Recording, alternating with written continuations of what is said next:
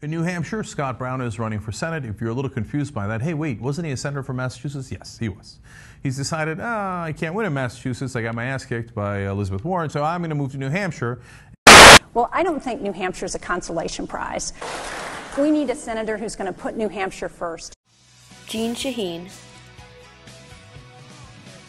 for our New Hampshire.